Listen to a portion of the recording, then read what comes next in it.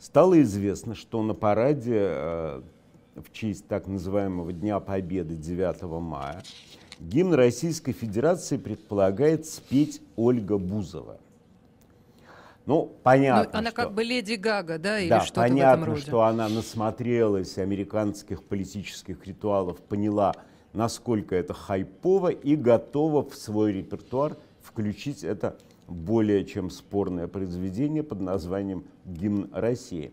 Но с учетом того, что а, популярность Бузовой стабильно не убывает, это, в общем, очень свежее, интересное решение. Вот главное проработать ее костюмчик, чтобы огромные перья оранжевого и черного цвета, которые были бы закреплены, прикреплены там сзади в правильном порядке, постепенно бы раскрывался бы такой огромный нимбохвост, закрывая собой мавзолей. Это было бы очень эффектно. Здесь... Вы так себе представляете жареного петуха, который должен кого-то клюнуть? Нет, нет, нет, я беспокоюсь, mm. Оля. Вот это ты злорадствуешь, а я беспокоюсь, чтобы не отвалились перья. Почему?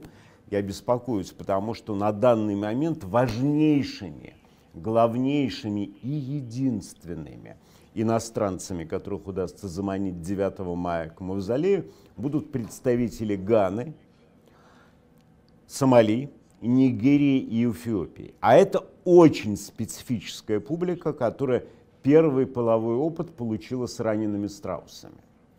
Поэтому что произойдет в тот момент, если, если Бузова устроит публичную линьку, это может э, вызвать э, необратимые, скажем так, э, последствия на параде. Но и на подтанцовке у Бузовой, если уже вообще осовременивать, мог бы потрудиться переодетый танком «Армата» патриот Киркоров. Это очень, кстати, его легко переделать. Надо добавить чуть-чуть, всего-навсего чуть-чуть еще фанеры и покрасить пушечку в голубой цвет. Тогда это будет действительно убедительное зрелище, но еще можно туда добавить известного в России папа Хлобыстина, тоже замешать в это ну, шоу. Он, он еще активен, да? Он, он активен. Более того, сейчас опять всюду гуляет его знаменитый мем, где Ахлобыстин, укрепив в районе пениса набор а, тротиловых шашек, сидит с мрачной рожей и с объявлением «За Русь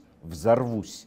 Это называется а, хэштег. Это такой. когда еще было-то, да? Ну, это, это воскресло, Оленька, это воскресло, и Потрясающе. теперь он собирается взорваться за Русь в том случае, если будет введена третья волна санкций. Ну вот я, кстати говоря, хотел ему тоже, он знаю, знаю, что он слушает «Эхо Москвы», хотел ему а, предложить, чтобы он не беспокоил ФСБ а, поисками динамита повсюду.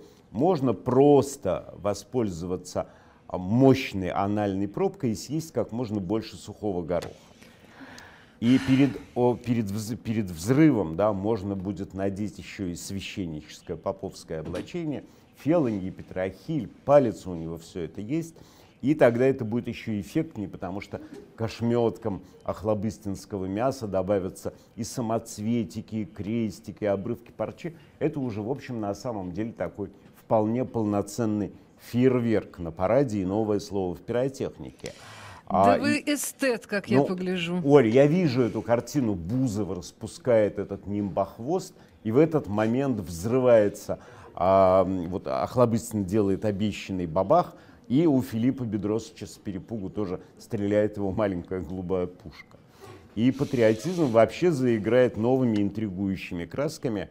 И, быть может, быть может, Оля, режиму, наконец, удастся достучаться до очерствевших а, в ТикТоке сердец молодежи. Быть может, эта сцена... А, хотя, ты знаешь, может быть, мы все неверно понимаем. Может быть, просто бедный попа Хлобыстин зашибает копеечку а, вот этим хэштегом «Зарусь, взорвусь» имеется в виду а, колбасный кооператив «Русь». А есть еще один тоже а, кооператив, который изготавливает подмышники датские, а, дамские. А есть еще предприятие «Русь», которое делает трубочки для коктейля. Насколько я знаю, там они, они принципиально новой длины. Там я просто знаю, что эм, вероятно, будут арестовывать каких-то журналистов, которые разболтали эту нестандартную длину, потому что китайцы или вьетнамские шпионы прознали и сделали из этих трубочек садовый водопровод.